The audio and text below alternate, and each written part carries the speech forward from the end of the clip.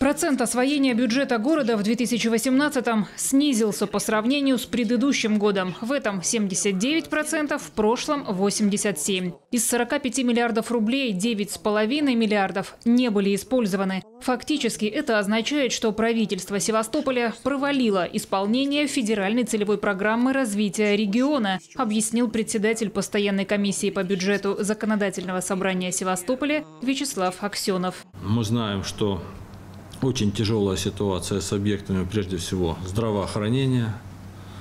Вот, но отставание и э, в сфере городского хозяйства, объекты нашей инженерной инфраструктуры, конечно, строятся очень-очень медленно. Бюджет Севастополя – это деньги не чиновников и депутатов. Это финансы горожан. Плохо освоенный бюджет означает не только то, что правительство города и губернатор не справились со своей работой. Это еще и нерешенные проблемы жителей. В городе так и не появились обещанные больницы, школы, жилье для детей-сирот и очередников, а еще транспортные развязки, парки и канализационно-очистные сооружения. Хуже всего дела в Севастополе обстоят с капитальным строительством и городским хозяйством хозяйством. Два профильных департамента в аутсайдерах выполнения бюджета за прошлый год, рассказал аудитор контрольно-счетной палаты. Есть случаи, когда просто отставание по графикам, когда э, подрядчики набирают объекты у нас э, по городу, да, и фактически э, не рассчитывают свои силы,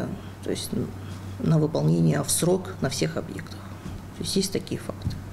Тоже также немало Значительный факт – это качество проектной документации.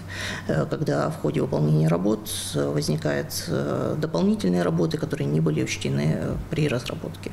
Приходится останавливать работы, проводить корректировки, дополнять э, какие-то виды работ, дополнять финансирование. Исполнительная власть считает, что вкладывает деньги в развитие города эффективно. В Департаменте финансов привели показатель освоения средств федеральной целевой программы – 52% в то время как аудиторы по результатам проверки обнаружили, что эта цифра не дотягивает и до 40%. В контрольно-счетной палате расхождения в подсчетах объясняют тем, что правительство Севастополя завышает коэффициент, включая в эту арифметику уже розданные подрядчикам авансы и тем самым приписывает себе заслуги за еще не построенные объекты. Мы же считаем именно э, контрольно-счетная палата, что э, по фактическому исполнению, пример – с теми же деньгами по, допустим, по резервному фонду президента да, на дороге. То есть вот э, мы совместно с казначейством э, принимали в проверке, то есть они тоже считают, что, но они там считают еще более жестко. То есть, если, допустим, объект вообще не выполнен, да, но при этом э, деньги были хоть на какую-то часть потрачены, то они считают полностью деньги э, нерезультативными. В отчете, представленном Департаментом финансов правительства Севастополя, только радужные показатели. Бюджет исполнен без дефицита, государственный долг отсутствует. Удалось привлечь 6 миллиардов 400 миллионов рублей из бюджета Москвы. Социальные обязательства, зарплаты, пособия и льготы гражданам предоставлены. Обеспечение социально-культурной сферы, по словам представителя Департамента финансов, значительно увеличилось за год на 29%, то есть 4 миллиарда 400 миллионов рублей. Как это отразилось на горожанах? На публичных слушаниях севастопольцы задавали вопросы напрямую.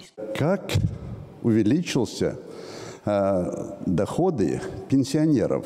Не просто, знаете, так вот в цифрах, потому что пенсионер, который вот сейчас, может быть, нас слушает, скажет, что-то у меня не добавилось в кошельке.